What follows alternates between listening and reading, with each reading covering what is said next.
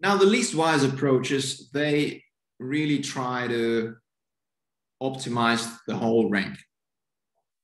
What does it mean optimizing the whole rank? Of course, it means optimizing a certain uh, evaluation metric. So we studied many different evaluation metrics from very simple like precision and recall to more complex like DCG or ERR. But basically, that's what we want to do. We want to optimize the um, ranking performance directly. Now, um, for example, yeah, as I said, simple precision, which is just the sum of relevance divided by the number of retrieved documents or this kind of cumulative gain. Now, how do we optimize this metrics? Well, ideally, we take a derivative as before with respect to the parameter of the model. We equate this derivative to zero and so on, or we do the gradient descent. However, of course, the problem is that these metrics are non-continuous and non-differentiable. So we can't just do that. That's why it hasn't been done for a while. And uh, again, again, this uh, very similar example to what we saw for the uh, pairwise approach, that's from seminal paper by Burges that discusses RankNet and other similar methods. So basically, uh, NDCG and ERR and user preference are higher for the left ranking, while the pairwise um, approach would prefer the right ranking and the pairwise would apply forces like black to this document. So small force to this and large force to this to make the correct ranking. But what we want, we want larger force applied to this rank, uh, to this document to push high up. And this is less important. Now, uh, we can't do that because again, uh, the metrics like NDCG or ERR, are non-continuous and non-differentiable. So what do we do? Now, uh, you remember the approach RankNet. This is the approach that builds on top of it, which is called lambda rank. And lambda actually comes from those lambdas that we discussed as forces in the, in the previous video. Now, we observe that we do not need the cost, the costs uh, to actually train the model. We only need the gradients, right? Those, the, those derivatives that we discussed previously, those lambdas actually. Um, so we can actually get rid of the cost because there, uh, the, the positive thing about the pairwise approach that we could formulate the cost, actually also pointwise approach as well. We could really mathematically formulate the cost, take a derivative of the cost. But here, here it's not possible because our cost functions, which are evaluation metrics, are non-differentiable.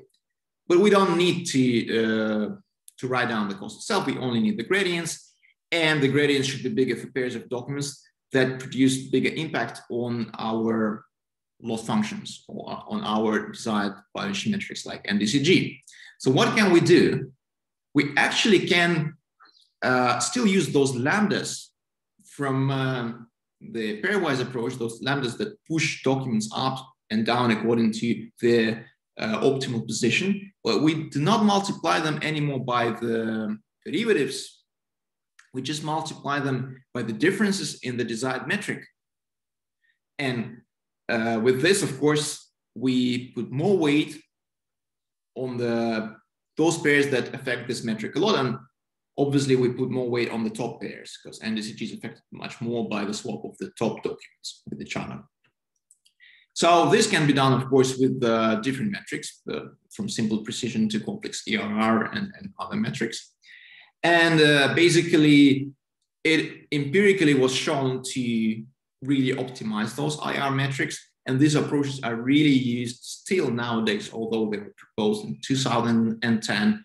And uh, recently, there was even some theoretical proof that lambda rank optimizes some lower bound on uh, certain metrics. Well, importantly, we know that empirically, this approach really optimizes uh, metrics that are used here instead of uh, costs.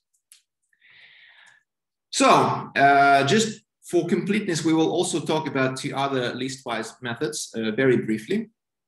So uh, I have to say that that lambda rank method is still one of the state of the art, and the let's say there is also lambda mart methods method on top of it that just uses multiple additive regression trees but the idea is exactly the same as lambda rank. So basically, if you implement lambda rank, you can easily move to lambda mart, and then you have the state-of-the-art learning rank method.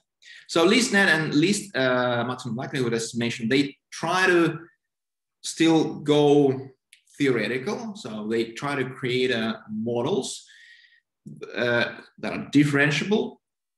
So for example, um, we can use the Plackett-Luce distribution where the probability of a document is this function here, again, kind of softmax, uh, where SI is a score, Sij is a score produced by our ranking function.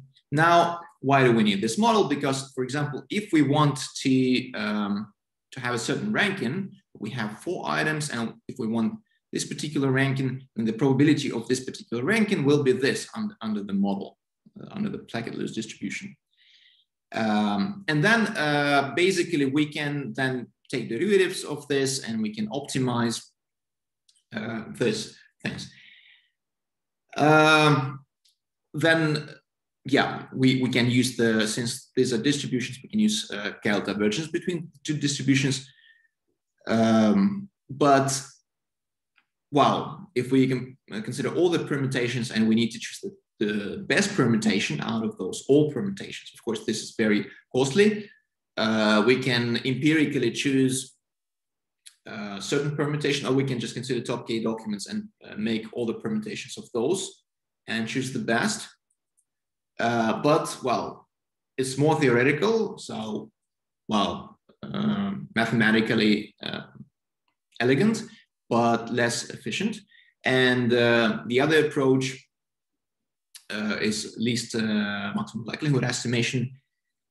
It basically computes the probability of ideal permutation based on the ground truth. Again, you consider all the permutation, you have the ground truth, and you compare the two, and you, you choose the best, well, maximum likelihood estimation approach.